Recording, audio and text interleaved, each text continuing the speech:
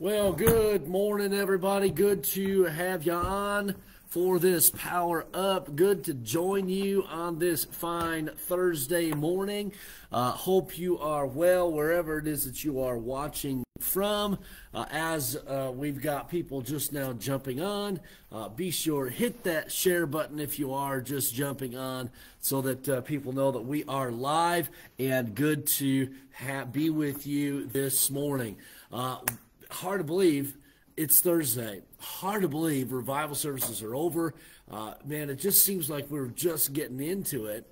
Uh, but man, what an exciting uh, uh time uh, to just, uh, yes, to be alive, but an exciting time to be revived in our walk with the Lord. and man, really just kind of, as we heard last night, just kind of just hit that reboot button and let's get serious about the things of God, our relationship with Jesus Christ, our service to Him. Uh, and and let's not forget, and, and this is where we're going to be at today as we look into Revelation chapter number two. Let's not forget why we do what we do. Uh, that's important for us to remember.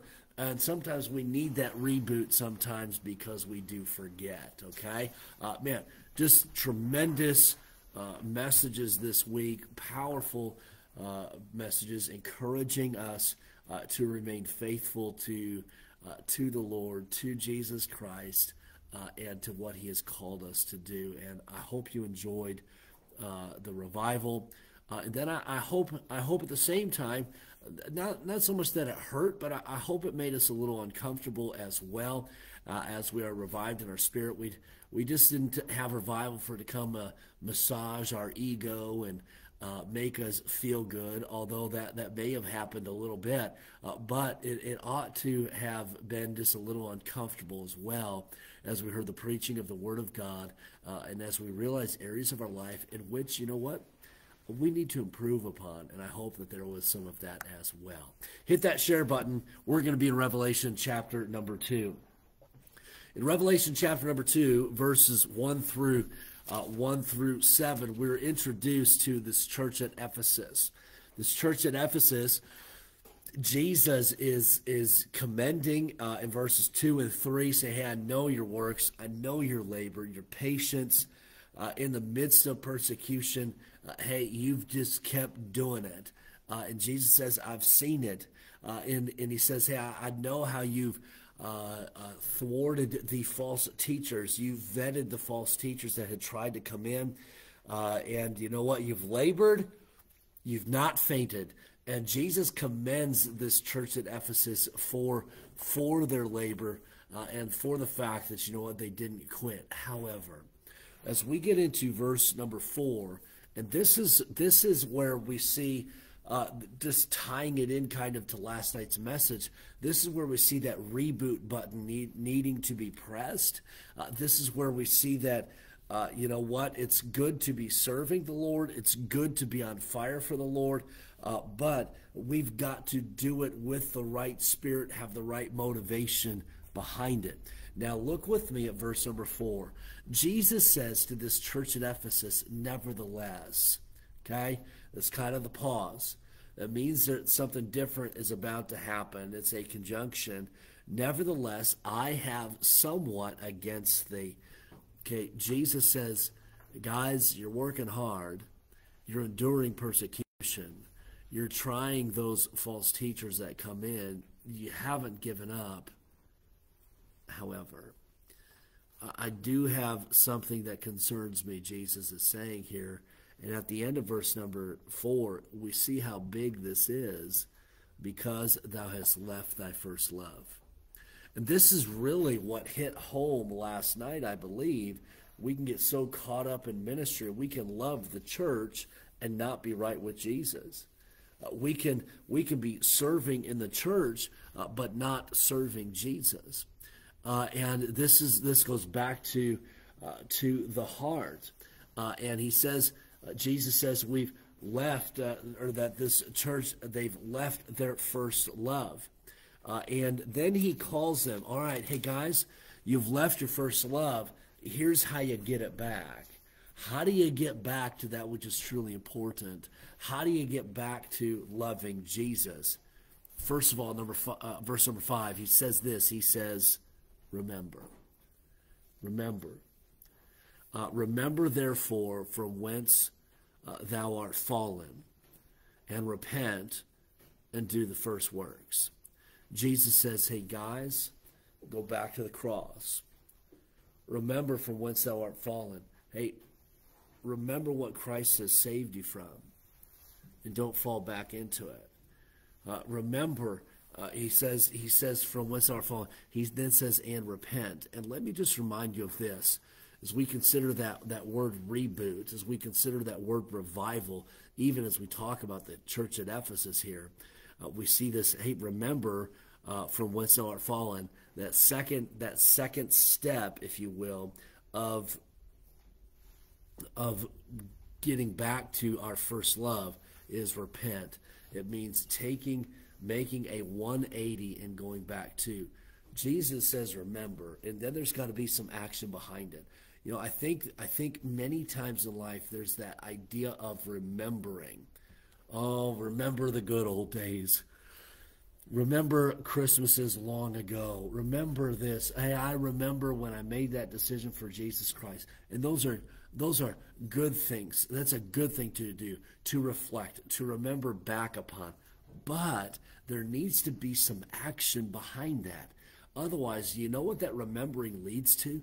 That remembering leads to depression.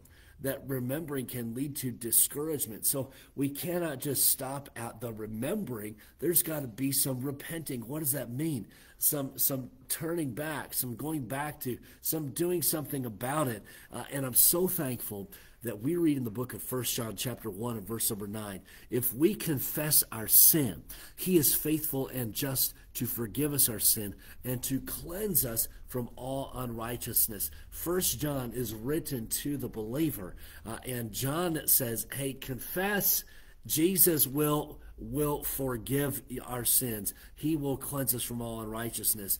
And here, under the inspiration of the Holy Spirit, John is penning Jesus' words here. And Jesus says, Hey, remember. Remember where, where you used to be. Hey, remember that time. Remember when you trusted Christ as your Savior and you loved me. Hey, remember that and repent. Hey, let's get back to it.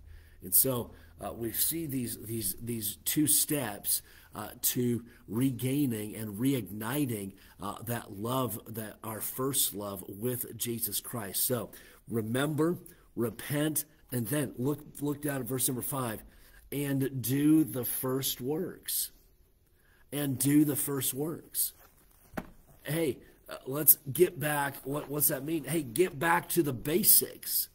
Do the first works sometimes we we over over complicate things.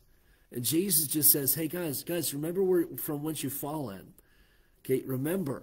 Uh, hey, repent. Let's turn back to it, uh, and then do. Hey, do the first works. Let's get back to uh, the the basic things like uh, like our church attendance, our faithfulness to church."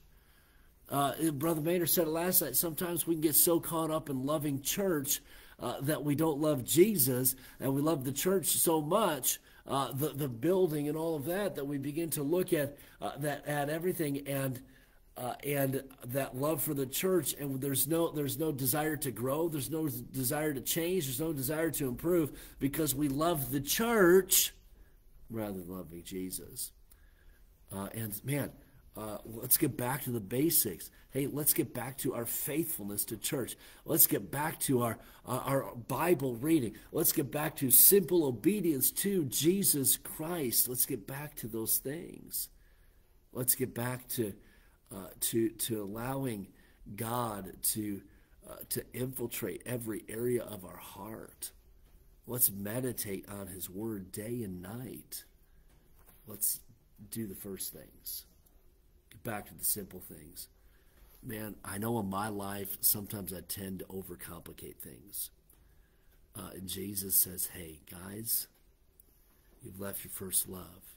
You're so busy doing. Hey, let's, let's remember. Remember from whence you are fallen. Hey, remember how it used to be. Let's repent. Hey, get things right. And then let's do the first things. Uh, I, I say this probably I don't know if you can say it too much, but if anybody does, I guess I could.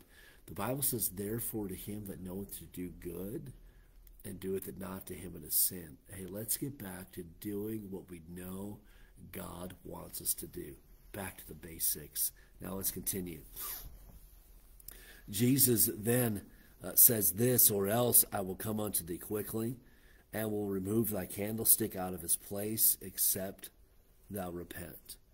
Uh, and we note this, and as maybe as you as you travel, as you see maybe other churches, uh, what happens sometimes because of this this lack of of loving Jesus, this lack of a willingness to remember to, and then repenting and then doing the first things, it, it leads oftentimes to to churches dying. Uh, and uh, that's a sad thing. And we see here that, uh, hey, repent. Jesus says at the end of verse number five, except thou repent. Hey, what will happen? Or else I will come unto thee quickly and will remove thy candlestick out of its place. Uh, listen, the culture isn't to blame for for our churches dying. Uh, the government isn't to blame for our churches dying. The economy isn't to blame for our churches dying. Who's to blame? Unrepentant believers.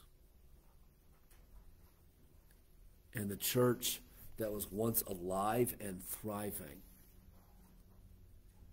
Uh, they got caught up in the busyness of the ministry and the busyness of serving, and they began loving the church. And that's an okay thing to do, but when that becomes number one, they began loving the church rather than loving Jesus. That's when the church begins to die. We need to remember what Christ has done for us. Uh, we need to remember his love for us and that we need to repent. We need to repent of, uh, of loving, placing things above Jesus Christ. We need to repent of those things. And then we need to get back to the basics. Let's do the first things. Uh, Bible reading, prayer, faithfulness to church, uh, having a godly testimony, being separated from sin, uh, not allowing uh, uh, the lust of the flesh, the lust of the eyes, the pride of life to rule in our life. We need to repent. Hey, no matter where you're watching from, do you want to see your church grow? Where does that begin? Obviously, it begins with the pastor. Well, maybe a little bit. So it begins. It begins in your life begins in my life. In getting back to our first love. So much takes the place of it, and it's not just it's not just uh, the church that takes the place of it. The things of this world, the cares of this world, can take the place of our love for Christ. Verse number six says, "But this, but this thou hast, that thou hatest the deeds of the Nicolaitans."